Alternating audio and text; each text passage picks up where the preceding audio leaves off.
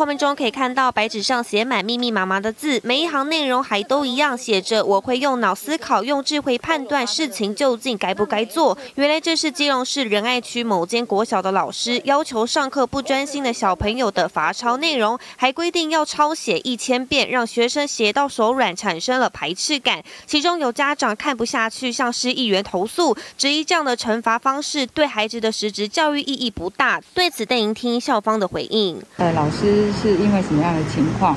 那为什么要做这样的处置？那当然不恰当的处置，我们会跟老师就是引导他，哈，应该要用适合学生的身体跟心理的方式来做处理。针对学生罚写一千遍的事件，教育处处长表示，老师应该要考虑孩子的性格和状况，做出适合的处置方式。就算要罚写，也应该要符合比例原则。会再和校方进一步了解实情。